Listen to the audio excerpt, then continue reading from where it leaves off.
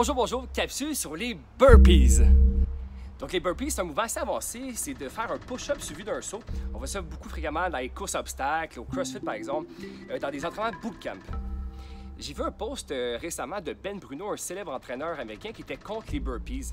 Puis je suis d'accord avec sa mentalité que c'est plus ou moins un bon exercice pour la plupart des gens. J'ai donc utilisé quelques de ces informations dans son post, puis je vous ai rajouté quelques, quelques trucs pour faire une petite capsule sur les burpees. Pour certaines personnes, ça peut augmenter beaucoup l'impact au niveau des poignets, du coude, de l'épaule, du dos et des genoux.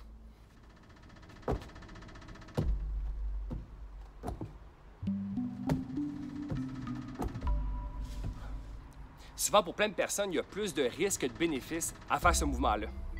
On voit souvent ça, les burpees, comme une forme de punition. Quelqu'un qui arrive en retard à l'entraînement ou si tu rates un obstacle dans une course à obstacle, il faut faire des burpees. Mais je crois que quand on entraîne quelqu'un, quand on s'entraîne, il faut devenir meilleur et non s'épuiser ou se blesser. Par exemple, j'aime beaucoup plus promouvoir euh, la technique. Par exemple, entraîner les push-ups de façon séparément, entraîner les squats et les sauts de façon séparément pour essayer d'avoir un excellent geste technique avant d'enchaîner ces mouvements-là ensemble. C'est sûr qu'il y a des athlètes qui sont plus avancés, qui sont capables de faire des beaux burpees, mais souvent, les athlètes qui veulent courir plus vite, sauter plus haut, grimper, tout ça, souvent, ils n'en font pas vraiment des burpees. Souvent, ils se concentrent plus pour augmenter leur force musculaire au gym, plutôt que faire plein, plein, plein de burpees. C'est la mode aussi, on voit beaucoup des gens qui font euh, des push-ups suivis d'un backflip, ensuite ils marchent sur les mains, ensuite ils font un flip, tout ça.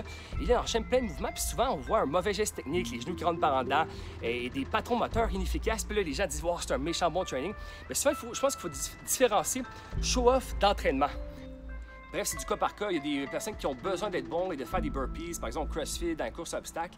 Mais pour la population générale, je ne crois pas que ce soit vraiment le mouvement le plus sécuritaire. Bien sûr, il y a des variantes qu'on fait, pas de push-up, qu'on va en appui comme ça, puis on saute.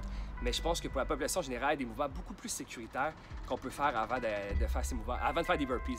Et vous, je suis curieux, est-ce que vous faites des burpees? Est-ce que vous aimez ça? Donc, euh, merci de votre écoute et à une prochaine capsule.